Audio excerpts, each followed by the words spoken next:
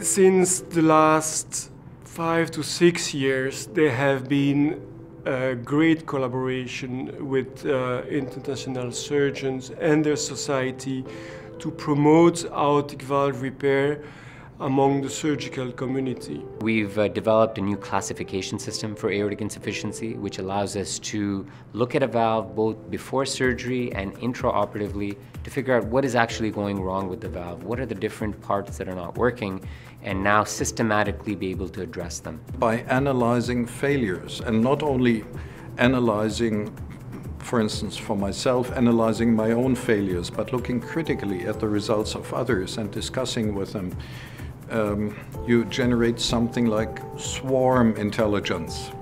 And, and this is essentially what has happened. That classification has allowed us to speak to our colleagues using the same language, to say that when I say there's a cusp prolapse, that my colleague understands, oh yeah, that's what he means, which is a language with, that we didn't have 10 or 15 years ago as readily.